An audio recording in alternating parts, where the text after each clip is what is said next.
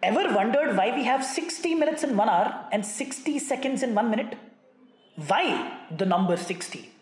Dr. Nick Lomb, the consultant curator of astronomy from the Sydney Observatory, says the origin of our time system, with each hour subdivided into 60 minutes and then 60 seconds, is complex and yet interesting.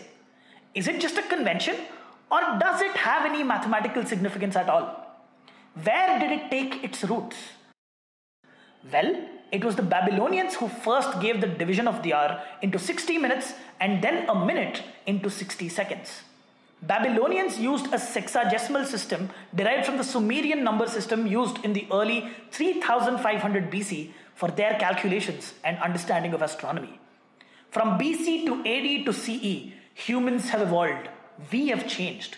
But we still rely on 60, a magical number for us to calculate time.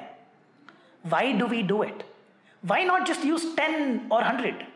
Well, that is because Babylonians had a point. And it's not a convention we follow blindly.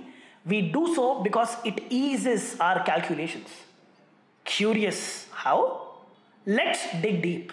For now, we'll park 60 and concentrate on 12, a physically significant number not to be ignored when it comes to time. Since we are religious followers of the decimal system, we can't ignore the ease of using 10 either. But going back to 12, what's so special about it?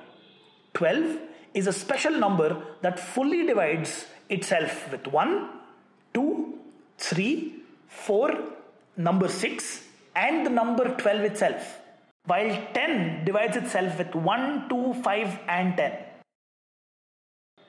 5 is the non common divisor here between 12 and 10. So 60 being 12 times 5 combines the advantage of both 10 and 12. Effectively, 60 is convenient to use as it makes conversions from hours to minutes, minutes to seconds, and being able to interpret parts of hours and parts of minutes very easily. Not convinced? Let's imagine an hour having 100 minutes and each minute having 100 seconds. Half an hour would correspond to 50 minutes. One third of an hour would correspond to 33.3333 minutes. One fourth of an hour would correspond to 25. One fifth of an hour would correspond to 20. And one sixth of an hour would correspond to 16.666 minutes.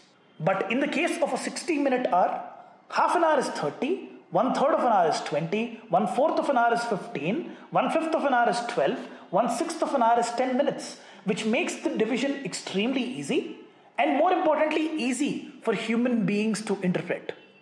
If we use the decimal system like we do while we measure distances, decimals would crop up and ruin our ease of calculations as we cut through parts of an hour. Our current convention, however, gives us a very convenient way of handling time. One day is 24 hours, which is 24 multiplied by 60, 1440 minutes. Multiplied by 60, 86,400 seconds, where we can understand one half, one third, one fourth, one fifth, and one sixth of parts of time extremely easily without having to deal with decimals. This doesn't, of course, explain how the system spread across the world but it's probably because it's easier. Now, that is a topic to be explored for yet another day. Do you still think that a 10 hour clock would have made more sense? If your answer is yes, then think again. Wait a minute. Before you go away, like, share, and subscribe.